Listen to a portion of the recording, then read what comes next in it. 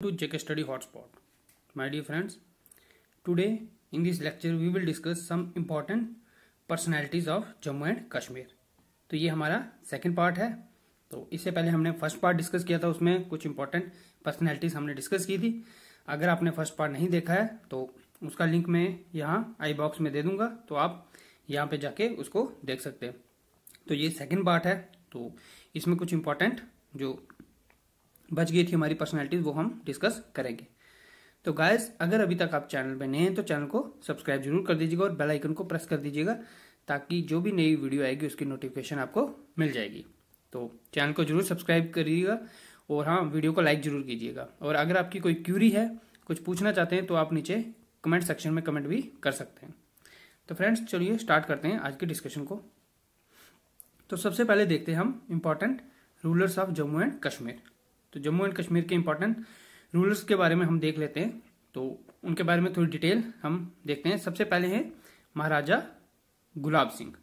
तो ये हैं महाराजा गुलाब सिंह। तो इनके बारे में हम देख लेते हैं कौन थे ये। He was the founder of royal Dogra dynasty तो ये फाउंडर थे डोगरा डायनेस्टी के। And first Maharaja of the princely state of Jammu and Kashmir during British Raj तो ब्रिटिश राज में महाराजा गुलाब सिंह जो थे, वो थे फ़र्स्ट महाराजा थे of princely state of Jammu and Kashmir तो जम्मू एंड कश्मीर के पहले महाराजा थे अंडर द ब्रिटिश राज तो ब्रिटिश राज में पहले महाराजा कौन थे? महाराजा गुलाब सिंह. तो इस तरह का एमसीक्यू भी पूछा जा सकता है। आपको ऑप्शन दे दिए जाएँगे और आपको इस तरह का क्वेश्चन पूछ दिया जाएगा कि who was the first Maharaja of the princely state of Jammu and Kashmir during British rule correct answer क्या है? महाराजा गुलाब सिंह। नेक्स्ट है, Gulab Singh was born in a Hindu Jamwal Dogra Rajput family तो ये Jamwal Dogra Rajput family में इनका birth हुआ था on June 1822 तो जून 1822 में he crowned himself as the king of Jammu and Kashmir on the bank of Chenab river तो 1822 में महाराजा गुलाब सिंह ने अपने आप को खुद राजा बनाया था जम्मू एंड कश्मीर का on the bank of Chenab river तो चिनाब रिवर के बैंक में इनकी जो सेरेमनी हुई थी ताजपोशी हुई थी, वो हुई थी 18 हुई थी 1822 में, जून में ऑन जून 1822 में बैंक ऑफ़ रिवर चिनाब तो इससे भी एक एमसीक्यू बन सकता है। तो ये भी याद रखिए कहाँ हुई थी। On the bank of Chenab river और कब हुई थी? 1822 में। Gulab Singh manage to preserve and expand his kingdom which was maintained by his successor until the Pakistani invasion of 1947 48 तो जो गुलाब सिंह थे, इन्होंने मैनेज किया था और प्रिजर्व किया था जो अपना किंगडम था और इनके जो आगे सक्सेसर थे उन्होंने भी मेंटेन करके रखा था डोगरा किंगडम को। जब तक पाकिस्तान इन्वेजन नहीं करता 1947 में जब पाकिस्तान ने इन्वेजन किया था, तब तक इन्होंने प्रॉपरली मेंटेन करके रखा था डोगरा रूल को जम्मू एंड कश्मीर में। With the virtue of his ability and good fortune he pioneered the royal Dogra dynasty and ruled the throne for 11 years तो इन्होंने कितनी देर राज किया था? इन्होंने 11 साल तक राज किया था जम्मू एंड कश्मीर में महाराजा गुलाब सिंह ने। तो इन्होंने 11 साल रूल किया था और इनका क्राउन इन्होंने खुद को राजा बनाया था कब? 1822 में बैंक ऑफ़ चिनाब रिवर में और ये बॉर्न हुए थे हिंदू जम्बाल डोगरा फैमिली में। तो नेक्स्ट देखते हैं। गुलाब सिंह ने नेगोशिएट किया था इन्होंने बिटवीन सिख एंड ब्रिटिश तो ब्रिटिश और सिख के बीच वॉर हुई थी।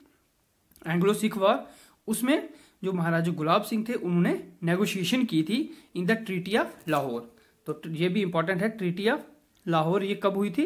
नाइन्थ मार्च 1846 को। तो इन्होंने ट्रीटी ऑफ़ लाहौर में नेगोशिएशन किया था आफ्टर फ़र्स्ट सिख वार तो इन्होंने पे किया था seven lakh fifty thousand pounds तो seven lakh fifty thousand pounds इन्होंने पे किया था ईस्ट इंडिया कंपनी को to take Kashmir from Punjab government तो कश्मीर को लेने के लिए इन्होंने seven lakh fifty thousand pound pay किए थे ईस्ट इंडिया कंपनी को। तो ईस्ट इंडिया कंपनी को इन्होंने सेवन लाख फिफ्टी थाउज़ेंड पे किया था, फिर उन्होंने पंजाब गवर्नमेंट से कश्मीर को ले लिया था। तो जो ट्रीटी ऑफ़ अमृतसर थी, उसमें टेन आर्टिकल्स थे। तो ये भी इंपॉर्टेंट है कि कितने आर्टिकल्स थे ट्रीटी ऑफ़ अमृतसर में? तो ट्रीटी ऑफ़ अमृतसर में थे टेन आर्टिकल्स और 15 मार्च 1846 को ब्रिटिश गवर्नमेंट ने कन्फर्ड किया था him as the title of Maharaja. तो गुलाब सिंह को महाराजा का टाइटल किसने दिया था? ब्रिटिश गवर्नमेंट ने। कब दिया था? ऑन फिफ्टींथ मार्च 1846 तो 1846 में 15 मार्च को जो ब्रिटिश गवर्नमेंट थी, उन्होंने गुलाब सिंह जी को टाइटल दिया था महाराजा का। उसके बाद उनको कहा जाने लगा महाराजा गुलाब सिंह।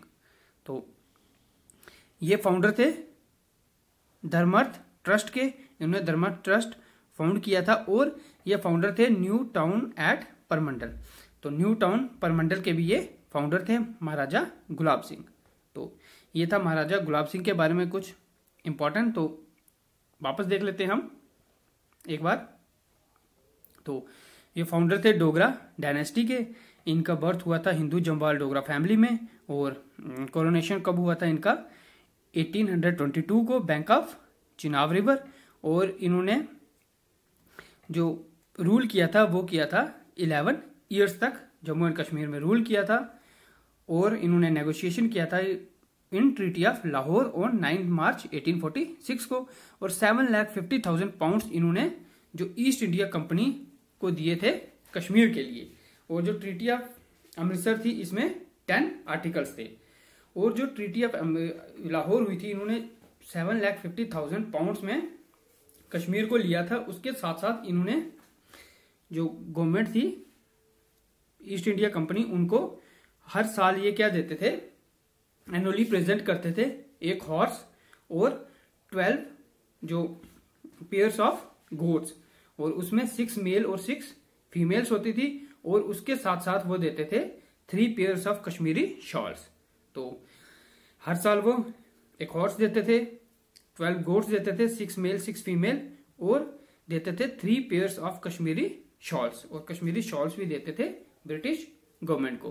तो ये था इंपॉर्टेंट महाराजा गुलाब सिंह जी के बारे में। इसके बाद नेक्स्ट देखते हैं, रणवीर सिंह। तो नेक्स्ट है हमारे रूलर रणवीर सिंह। इनका बर्थ हुआ था अगस्त 1830 में, और इनकी डेथ हुई थी 12 सितंबर 1885 में। तो ये हैं महाराजा रणवीर सिंह।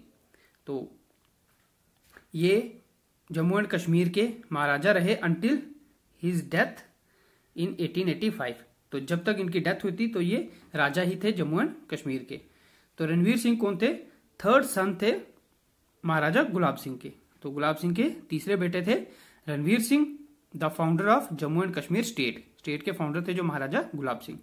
तो रणवीर सिंह ने जो ये थ्रोन लिया था महाराजा गुलाब सिंह से, कब लिया था? जब उनकी जो हेल्थ थी वो खराब हो गई थी और वो ये राज्य नहीं चला सकते थे तो उन्होंने जो राज्य था अपना, ये आगे दे दिया गुलाब गुलाब सिंह जी ने किसको दे दिया?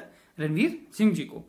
तो जब उनकी हेल्थ खराब हुई तो उन्होंने अपनी पोजीशन ट्रांसफ़र कर दी।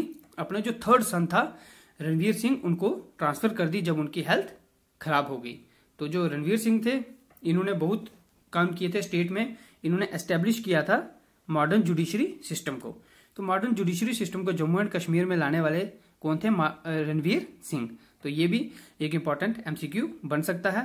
तो रणवीर सिंह जी ने लाया था मॉडर्न जुडिशरी सिस्टम सिविल और criminal laws were compiled into Ranbir penal code during his reign तो इन्होंने ही लाया था रणवीर पिनल कोड, जो कि हमारे स्टेट में था पहले आरपीसी तो आरपीसी का मतलब था रणवीर पिनल कोड।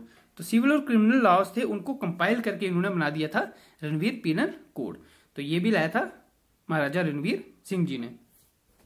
और रणवीर सिंह जी थे जो जो स्कॉलर थे संस्कृत और पर्शियन लैंग्वेज के, और इन्होंने बहुत सी बुक को ट्रांसलेट भी किया था। महाराजा रणवीर सिंह जी का जन्म हुआ था रामगढ़ में जन्म हुआ था और जम्मू एंड कश्मीर में, और अगस्त, कब हुआ था अगस्त? 1830 में इनका जन्म हुआ था रामगढ़ में। और ये थर्ड सन थे महाराजा गुलाब सिंह जी के। इनकी जो मदर थी, Rakhwal Maharani was the first wife of Gulab Singh. तो इनकी जो मदर थी वो गुलाब सिंह जी की फ़र्स्ट वाइफ थी। और जो रणबीर सिंह थे, इनको अडॉप्ट किया था राजा सुचेत सिंह।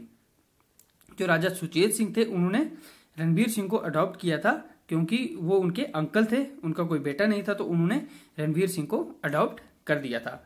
और Ranbir Singh inherited all the jagir upon his death in 1844 जब उनके अंकल राजा सुचेत सिंह जी की डेथ हो गई तो उनकी जो सभी जागीर थी, वो इनहेरिट हो गई, इन्होंने इनहेरिट कर दी तो इन्होंने ले ली रणवीर सिंह जी ने तो इनके पास आ गई वो सारी जागीर जो इनके अंकल राजा सुचेत सिंह जी की थी।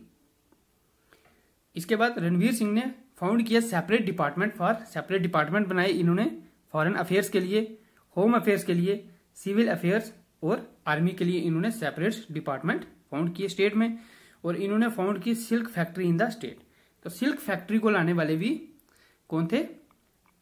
महाराजा रणवीर सिंह। तो रणवीर सिंह ने लाई silk factory he also promoted its trade उन्होंने ट्रेड को भी प्रमोट किया। The shawl industry flourished during his reign which provide employment and a minimum income to his subject तो जो शॉल इंडस्ट्री है, वो इन्हीं के टाइम फ्लरिश हुई रणवीर सिंह जी के टाइम में फ्लरिश हुई स्टेट में, जिसकी मदद से बहुत से लोगों को एम्प्लॉयमेंट भी मिला। तो शॉल इंडस्ट्री भी इन्होंने लाई और जो सिल्क फैक्ट्री है, वो भी लाई महाराजा रणवीर सिंह ने। इन्होंने डोनेट किया one lakh to university of Punjab तो यूनिवर्सिटी ऑफ़ पंजाब को इन्होंने वन लैख डोनेट किया था at the time of its establishment जब वो एस्टेब्लिश हो रही थी 1882 में, तब उन्होंने वन लैख डोनेट किया था यूनिवर्सिटी ऑफ़ पंजाब को। इन रिटर्न इनको क्या मिला था? फ़र्स्ट फेलोशिप मिला था यूनिवर्सिटी से तो ये यूनिवर्सिटी के फ़र्स्ट फेलो थे महाराजा रणवीर सिंह तो ये भी एक इंपॉर्टेंट क्वेश्चन यहाँ से आ सकता है। फ़र्स्ट फेलो कौन थे? यूनिवर्सिटी ऑफ़ पंजाब के तो वो थे महाराजा रणवीर सिंह इन्होंने वन लैख डोनेट किया था। पंजाब यूनिवर्सिटी को। इसके बाद टेलीग्राफ और पोस्टल सर्विसेज़ भी इन्होंने ही लाई थी स्टेट में। स्टेट में इन्होंने टेलीग्राफ और पोस्टल सर्विसेज़ भी लाई थी। इन्होंने जो एक्सपोर्ट ड्यूटी थी शॉल्स की, उसको भी अबॉलिश कर दिया था। तो शॉल्स की एक्सपोर्ट ड्यूटी को भी अबॉलिश करने वाले रणवीर सिंह थे और रणवीर सिंह के टाइम ही ग्रेट फेमाइन आया था। वैली में 1878 से 79 में जो ग्रेट फेमाइन आया था, वो रणवीर सिंह जी के ही टाइम आया था। तो ये भी पूछ सकते हैं कि किस रूलर के टाइम में ग्रेट फेमाइन आया था? तो वो आया था महाराजा रणवीर सिंह जी के टाइम में। तो इन्होंने ही 1856 में गिलगित को री कॉन्कोड किया था और 1870 में हुंजा और नागर को भी इन्होंने एनेक्स किया था महाराजा रणवीर सिंह ने। तो ये था रणवीर सिंह जी के बारे में। इसके बाद आगे चलते हैं प्रताप सिंह। तो कौन है महाराजा प्रताप सिंह? ये पिक्चर है महाराजा प्रताप सिंह जी की। तो देखते हैं।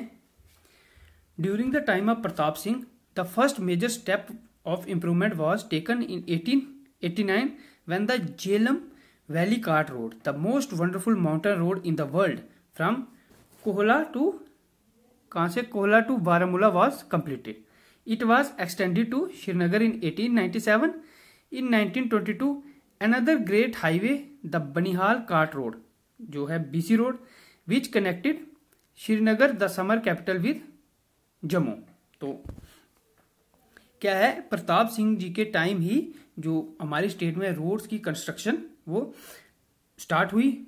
मतलब इन्होंने बहुत ही अच्छी तरह से स्टेट्स में, हमारी स्टेट में रोड्स को एक्सप्लोर किया फ्लरिश किया रोड को। और जो कोहला और बारामूला की जो रोड है, इन्होंने अपने टाइम में कंप्लीट की।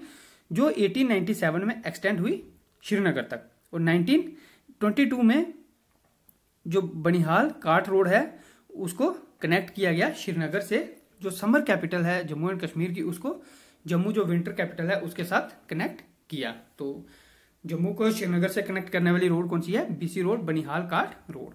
तो 1887 में जो स्टेट गवर्नमेंट है, उसने कैरी किया out the first land settlement तो फ़र्स्ट लैंड सेटलमेंट कब हुआ था? महाराजा प्रताप सिंह जी के टाइम में। एज अ रिज़ल्ट जो राइट्स थे of the agriculturist were clearly defined and the state's demand was fixed for ten years तो जो एग्रीकल्चर थे, उनके जो राइट्स थे, उनको फिक्स किया गया क्लियरली डिफाइन किया गया। और जो बैगर्स थे और फोर्स लेबर्स लेबरर्स थे बैगर्स और फोर्स लेबर थे in its more objectionable form was abolished तो बैगर और फोर्स, लेबर थी जो, उसको भी एबॉलिश कर दिया गया। तो ये किसके टाइम में किया गया? प्रताप सिंह जी के टाइम में किया। The share of the state was fixed है थर्टी परसेंट तो जो स्टेट का शेयर है, उसको फिक्स कर दिया गया थर्टी परसेंट रख दिया गया। जो भी ग्रॉस प्रोड्यूस होगी, जो रेवेन्यू कलेक्ट होगा, उसको उन्होंने, कितना कर दिया कि वो थर्टी परसेंट होगा ऑफ़ द ग्रॉस प्रोड्यूस और जो रेवेन्यू कलेक्ट किस माध्यम से कर रहे थे वो? कैश के माध्यम से रेवेन्यू को कलेक्ट करते थे। और model agriculture farm was set up in Srinagar तो श्रीनगर में एक model agriculture farm set up हुआ। Of the spread of knowledge about scientific method of cultivation तो कल्टीवेशन के साइंटिफिक मेथड्स को अपनाने के लिए एक मॉडर्न क्या एग्रीकल्चर फॉर्म सेटअप हुआ श्रीनगर में। और efforts were made to popularise education education को बढ़ावा देने के लिए भी इन्होंने बहुत से एफर्ट्स किए। In pursuance of the suggestions made in the report 1916 many challenges were made in the system of education तो एजुकेशन के सिस्टम में भी मैनी इन्होंने चेंजेस लाई बहुत सी कि एजुकेशन को डेवलप किया जाए स्टेट में। और number of schools colleges for both boys and girls were also open तो बॉयज़ और गर्ल्स के लिए बहुत से स्टेट में कॉलेजेस भी इन्होंने ओपन किए। नेक्स्ट देखते हैं। One degree college each at Jammu तो एक डिग्री कॉलेज जम्मू में prince of wales college establish किया 1907 ने और श्रीनगर में श्री प्रताप कॉलेज वो एस्टेब्लिश हुआ 1905 में और Amar Singh technical institute at the later 1914 में एस्टेब्लिश किया और श्री प्रताप टेक्निकल स्कूल वो 1924 में एस्टेब्लिश किया। Were meant to meet the demands of higher education तो हायर एजुकेशन के लिए इन्होंने जम्मू और श्रीनगर में डिफरेंट कॉलेजेस एस्टेब्लिश किए। और 1938 में श्री प्रताप कॉलेज जो श्री प्रताप कॉलेज था with 1187 students on its roll तो इस कॉलेज में एक हज़ार एक सौ सतासी स्टूडेंट्स ने admission Lee. Achieved the distinction of being the second largest college affiliated to the Punjab university तो इन्होंने एफिलेशन कहाँ से ली? पंजाब यूनिवर्सिटी से। और जो सेकेंड लार्जेस्ट कॉलेज था, जिसको एफिलेशन मिली थी पंजाब यूनिवर्सिटी से। तो इन्होंने एजुकेशन के लिए बहुत किया कॉलेजेस इन्होंने एस्टेब्लिश किए स्टेट में। तो जो श्री प्रताप कॉलेज था, ये सेकेंड लार्जेस्ट कॉलेज था, जिसको एफिलेशन मिली थी पंजाब यूनिवर्सिटी से। इसके बाद है the construction of smaller channels and several irrigation canals in both province of Jammu and Kashmir तो जम्मू एंड कश्मीर में इरीगेशन प्रोजेक्ट्स को भी इन्होंने प्रोत्साहन दिया और इरीगेशन कैनाल्स भी इन्होंने स्टार्ट की, जो बनाई जम्मू और कश्मीर में। जो लॉन्गेस्ट और मोस्ट इंपॉर्टेंट कैनाल है, वो है रणवीर कैनाल जो सबसे बड़ी कैनाल है, रणवीर कैनाल इन जम्मू में है जो। With total length of 251 miles including that of its tributaries तो उसकी टोटल लेंथ कितनी थी? 251 माइल्स उसकी जो ट्रिब्यूटरीज थी उसको भी इंक्लूड करके। सिर्फ़ अकेली मेन कैनाल को नहीं उसकी ट्रिब्यूटरीज को भी मिला के जो जो ट्रिब्यूटरीज उसके साथ बनाई उसकी टोटल लेंथ थी 251 miles it was completed in 1911 तो 1911 में ये कंप्लीट हुई थी हमारी रणवीर कैनाल जो जम्मू चिनाब से आती है जो आरसपुरा तक जाती है। ये आगे रणवीर कैनाल इस, इसको कंप्लीट किया था 1911 में। एट द कॉस्ट ऑफ़ कितनी कॉस्ट में कंप्लीट की थी? Three five three six seven one four thirty five lakh thirty six thousand seven hundred fourteen rupees में ये कैनाल कंप्लीट हुई थी। तो इन्होंने कैनाल्स में भी बहुत सी डेवलपमेंट की स्टेट में कैनाल्स बनाई। इसके बाद इन्होंने हाइड्रो इलेक्ट्रिक पावर साइड में भी बहुत काम किया और एस्टेब्लिश किया मोहरा पावर प्रोजेक्ट 1907 में, जो मोहरा डैम है पावर प्रोजेक्ट तो ये इन्होंने hydro electric power project establish किया था 1907 में। इसके बाद नेक्स्ट है, Pratap Singh left no issues of his own when he died on twenty third September 1925 को इनकी डेथ हो गई और इसके बाद इनको सक्सीड किया किसने? इनके नेप्यू थे जो, महाराजा हरि सिंह। तो वो इनके भतीजे थे, उन्होंने सक्सीड किया जो सन थे राजा अमर सिंह के। तो इनको सक्सीड किया इनके जो नेप्यू थे, महाराजा हरि सिंह, जो कि बेटे थे महाराजा अमर सिंह जी के। तो ये था प्रताप सिंह जी के बारे में। अब देखते हैं महाराजा हरि सिंह के बारे में। तो ये है महाराजा हरि सिंह। तो इनके बारे में देख लेते हैं। जो महाराजा हरि सिंह थे जी लास्ट रूलर थे, जो हमारी प्रिंसली स्टेट है जम्मू एंड कश्मीर के। ये लास्ट रूलर थे, ये एक डोगरा राजपूत थे, और इनका बर्थ हुआ था, कहाँ हुआ था? अमर महल में हुआ था। सितंबर 23 1895 को इनका बर्थ हुआ था। तो इनके जो अंकल थे, प्रताप सिंह उनकी डेथ के बाद इन्होंने जो स्टेट है उसका कारोबार संभाल लिया था। तो ये रूलर बन गए थे Jammu and Kashmir princely state के। इन्होंने जो प्राइमरी एजुकेशन है उसको प्राइमरी एजुकेशन का कंपलसरी कर दिया था स्टेट में और इंट्रोड्यूस किया था लॉज प्रोबिटिंग चाइल्ड मैरिज तो चाइल्ड मैरिज को रोकने के लिए इन्होंने लॉज भी लाए और ओपन किए places of worship to lower caste तो लोअर कास्ट के लिए वर्शिपिंग के लिए प्लेसेस को ओपन कर दिया। तो इन्होंने क्या किया? प्राइमरी एजुकेशन कंपलसरी की प्रॉबिट की चाइल्ड मैरिज और worshipping of low cost low cost caste के लिए वर्शिपिंग के लिए जगहें ओपन कर दी। और इन्होंने इंस्ट्रूमेंट ऑफ़ एक्सेशन साइन किया था 26 अक्टूबर 1917 को। तो 26 अक्टूबर 1947 को सॉरी 47 को इन्होंने इंस्ट्रूमेंट ऑफ़ एक्सेशन साइन किया, जब इन्होंने विलय कर दिया जो प्रिंसली स्टेट थी जम्मू एंड कश्मीर को इंडिया में। तो जब 1947 में इंडिया इंडिपेंडेंट हुआ, तब जो जम्मू एंड कश्मीर थी, ये इंडिपेंडेंट स्टेट थी। ना ये महाराजा हरि सिंह, ना पाकिस्तान के साथ जाना चाहते थे, ना इंडिया के साथ। ये फ्री रहना चाहते थे। लेकिन क्या हुआ कि जब ये अकेले थे तो पाकिस्तान ने मौका दे के अटैक कर दिया। तो फिर ये गए गवर्नमेंट ऑफ़ इंडिया के पास, इन्होंने हेल्प लेनी चाहिए तो फिर इन्होंने जो अपनी जम्मू एंड कश्मीर स्टेट थी, इसको एनेक्स कर दिया इंडिया के साथ। इंडिया के साथ विलय कर दिया। फिर इंडियन आर्मी ने जम्मू एंड कश्मीर में आई और फिर इंडिया और पाकिस्तान की वार हुई थी। फिर जो जम्मू एंड कश्मीर है हमारी स्टेट ये इंडिया के साथ विलय इसका हो गया था। तो इन्होंने इंस्ट्रूमेंट ऑफ़ एक्सेशन कब साइन किया था? ये इंपॉर्टेंट क्वेश्चन आ सकता है। इंस्ट्रूमेंट ऑफ़ एक्सेशन साइन किया था इन्होंने 26 अक्टूबर 1947 को साइन किया था। इंस्ट्रूमेंट ऑफ़ एक्सेशन ये साइन किया था महाराजा हरि सिंह जी ने। तो इसके बाद कुछ इंपॉर्टेंट उनके वर्क्स किए थे, वो देख लेते क्या क्या चीज़ें इन्होंने लाई थी। तो जो Jammu and Kashmir high court है, इसको इन्होंने लाया था कब? 1928 में, जो Jammu and Kashmir high court establish हुआ था 1928 में, महाराजा हरि सिंह जी के टाइम में। और जे एंड के बैंक भी महाराजा हरि सिंह जी के टाइम में एस्टेब्लिश हुआ था, और इसका हेडक्वार्टर कहाँ रखा था? वो रखा था श्रीनगर में। इन्होंने पास किया था एग्रीकल्चर रिलीफ एक्ट और लैंड एलिनेशन एक्ट को भी इन्होंने पास किया था। और पॉलीएंड्री को इन्होंने बैन कर दिया था स्टेट में। उसके बाद इन्होंने पास किया था कंपलसरी प्राइमरी एजुकेशन एक्ट को, कि प्राइमरी एजुकेशन कंपलसरी होगी सबके लिए। इस एक्ट को पास किया था और इनकी डेथ लास्ट हुई थी बॉम्बे में ऑन 26 अप्रैल 1961 तो 26 अप्रैल 1961 को इनकी डेथ हो गई थी बॉम्बे में। तो इन्हें Jammu and Kashmir high court constitute किया था कब? 1928 को। और इस हाई कोर्ट में क्या था? एक चीफ जस्टिस था और टू अदर जजेस थे। जब ये एस्टेब्लिश किया, तब वन चीफ जस्टिस था और अदर टू जजेस थे। तो इनके टाइम जो लेजिस्लेटिव असेंबली थी, उसको कहा जाता था प्राज्य सभा। तो वो इन्होंने एस्टेब्लिश की थी, जिसमें 75 मेंबर्स थे। उस लेजिस्लेटिव असेंबली में कितने मेंबर थे? 75 मेंबर्स थे, जिसमें जो 33 थे, वो इलेक्टेड मेंबर्स थे।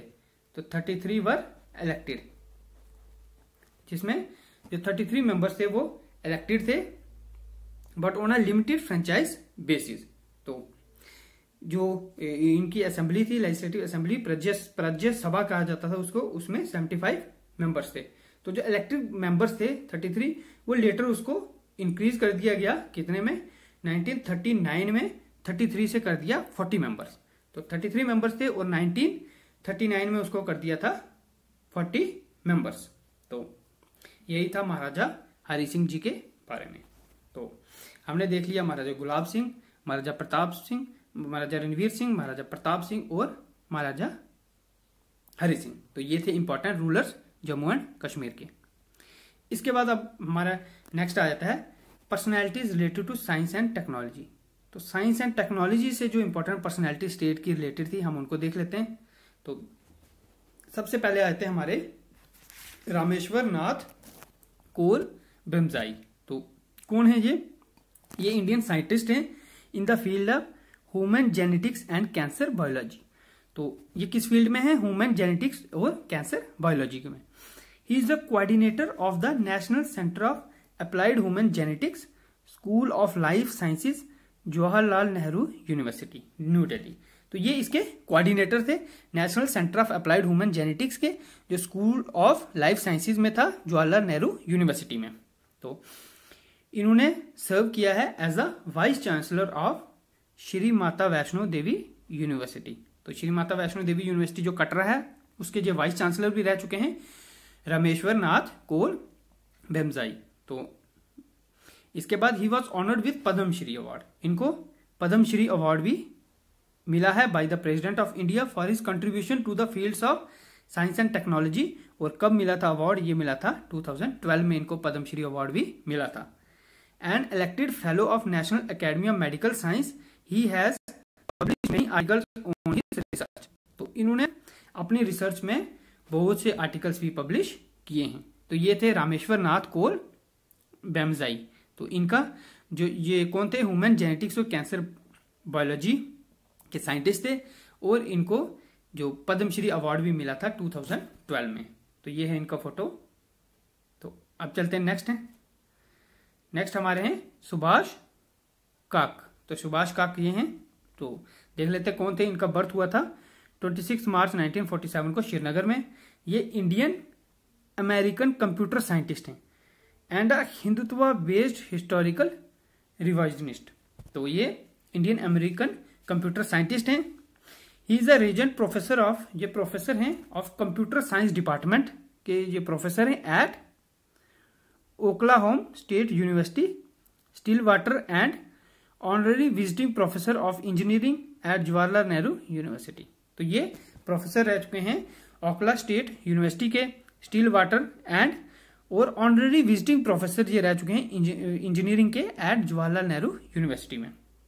काक ने पब्लिश की history of science the philosophy of science ancient astronomy and history of mathematics तो काक ने इसके साथ आर्कियो एस्ट्रोनॉमी भी पब्लिश की और एडवोकेट किया the idea of indigenous Aryans तो इंडिजीनियस आयरन्स के भी आइडिया को इन्होंने एडवोकेट किया। तो बहुत से स्कॉलर्स थे जिन्होंने इनकी थ्योरी को रिजेक्ट भी किया इंटायरली उन्होंने रिजेक्ट किया और इसको इनकी जो राइटिंग थी सभी उनको हैवीली क्रिटिसाइज भी किया। तो 2019 में 2019 में जो गवर्नमेंट ऑफ़ इंडिया है, उन्होंने इनको पद्मश्री अवार्ड भी दिया।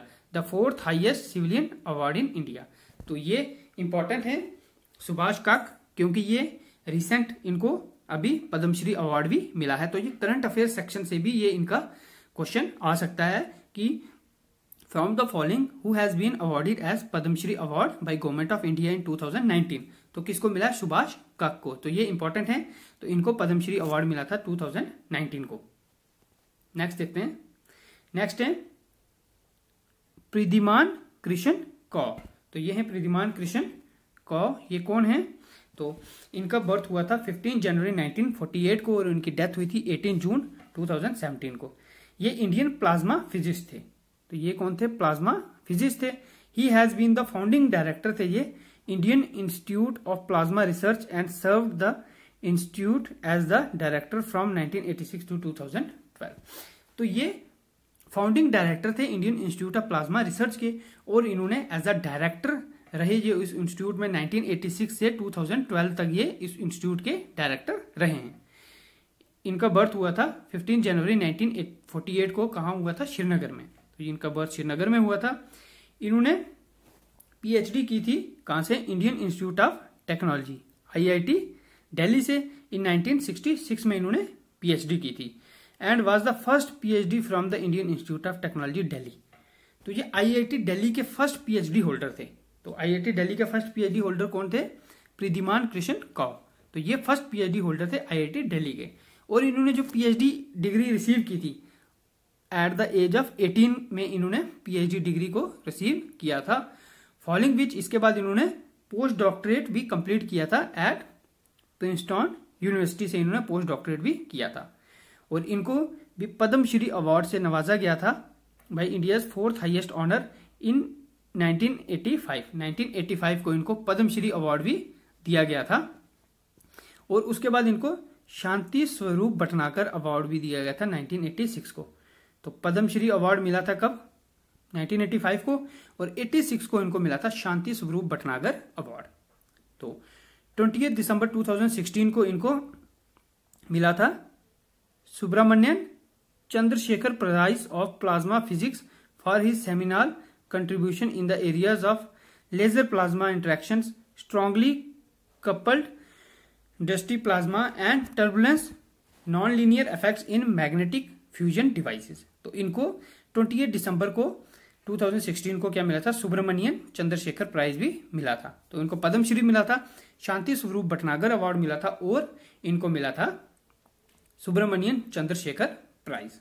तो इनको इसके साथ साथ मिला था 2008 में एस प्राइज भी मिला था। 2008 में इनको एस प्राइज भी मिला था प्रदिमान कृष्ण कौ को। तो ये था इनके बारे में। तो नेक्स्ट चलते हैं। नेक्स्ट है हमारे फयाज ए मलिक। तो कौन है फयाज ए मलिक? ये इंडियन फार्माकोलॉजिस्ट हैं, कैंसर बायोलॉजिस्ट हैं और साइंटिस्ट हैं at the Indian institute of integrative medical medicine of council of scientific and industrial research में ये क्या है? साइंटिस्ट हैं और इन्होंने, ये कौन है? फार्माकोलॉजिस्ट हैं और कैंसर बायोलॉजिस्ट भी हैं।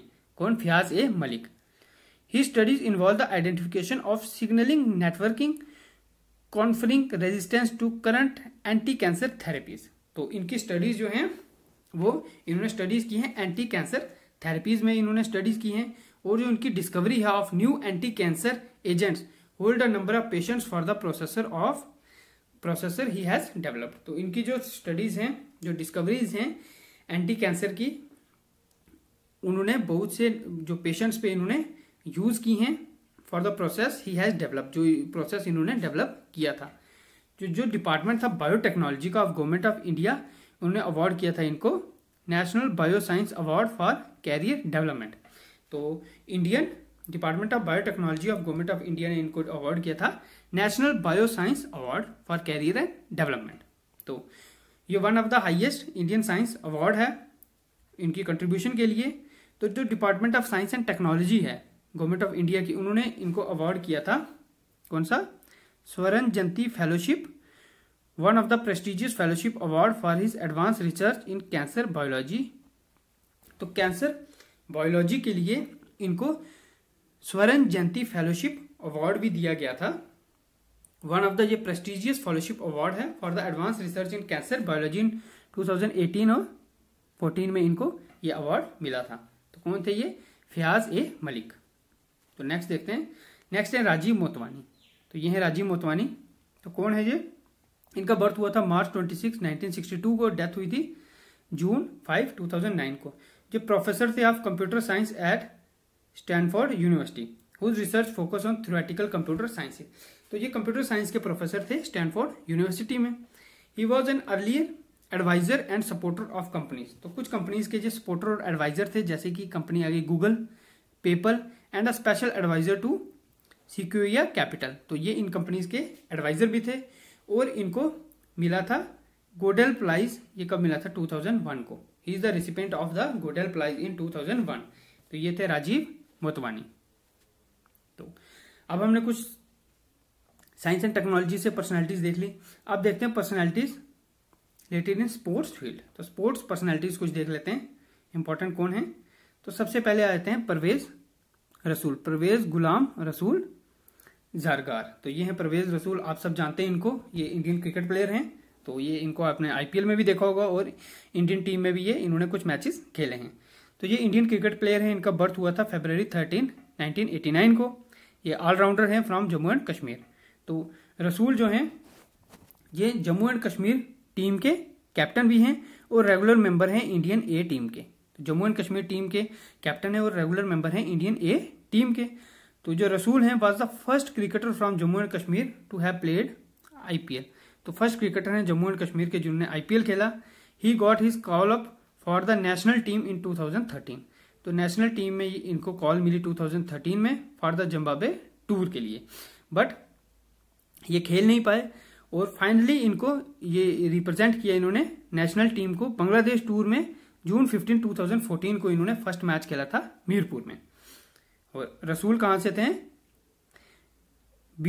Bijbehara in Anantnag district of Kashmir. यहाँ से हैं परवेज रसूल। तो ये हैं परवेज रसूल। इसके बाद हम देखते हैं हमारे हैं नेक्स्ट मजराजुद्दीन वाडो। तो ये है मजराजुद्दीन वाडो। ये फॉर्मर इंडियन फुटबॉल प्लेयर हैं and is currently assistant coach of Hyderabad तो हैदराबाद के जी करंटली असिस्टेंट कोच हैं तो ये इंडियन फुटबॉल प्लेयर भी हैं। और during his playing days Wadoo played for club such as Mohun Bagan East Bengal Salgaocar Pune city Chennai and Mumbai city in clubs के लिए इन्होंने फुटबॉल भी खेला है और इन्होंने रिप्रेजेंट किया है इंडियन नेशनल टीम को फ्रॉम 2005 से 2011 में। तो इंडियन नेशनल टीम को रिप्रेजेंट किया इन्होंने 2005 से 2011 को। तो मेजराउद्दीन वाडो कौन है? ये हैं इंडियन फुटबॉलर प्लेयर इसके बाद आते हैं मिथुन मनास। ये इंडियन फ़र्स्ट क्लास क्रिकेटर हैं who played for Chennai super kings ये चेन्नई सुपर किंग्स के लिए खेले हैं एज एन ऑलराउंडर आईपीएल में भी खेले हैं। ये राइट हैंड बैट्समैन हैं right arm and bowls right arm off break and can wicket keep ये विकेट कीपिंग भी करते हैं।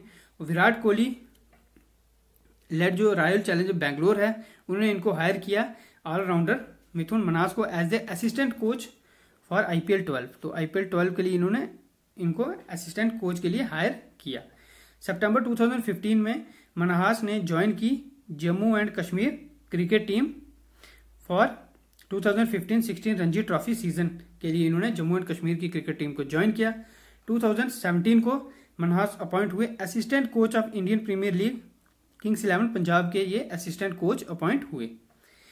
He occupies fourth spot in the list of highest run getters in first class तो first class cricket में highest runners में ये fourth spot पे हैं। जो पहले तीन हैं वो कौन है? सबसे पहले आ जाते हैं वसीम जाफ़र जिनके 11,225 रन हैं। और इनके रन कितने? 8,554 उसके बाद अमूल मुजमदर आ जाते हैं। उसके बाद आते हैं देवेंद्र बुंदेला। तो इसके बाद आते हैं मिथुन मनास जो फ़र्स्ट क्लास क्रिकेट में इनका जो रैंक है वो है फोर्थ तो ये थे मिथुन मनास के बारे में। अब देखते हैं नेक्स्ट शुभम प्रदीप खजूरिया। तो ये हैं शुभम प्रदीप खजूरिया। इनका बर्थ हुआ था 13 सितंबर 1995 में ये बॉर्न हुए थे।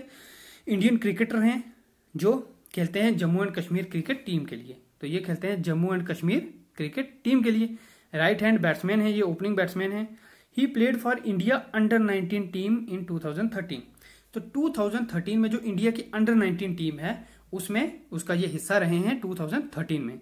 Became only the second cricketer from Jammu and Kashmir to do so तो जम्मू एंड कश्मीर के ये दूसरे क्रिकेटर हैं जिन्होंने ऐसा किया है जो अंडर 19 टीम में खेले हैं। तो ये हैं शुभम प्रदीप खजूरिया। तो ये अंडर 19 टीम के प्लेयर हैं।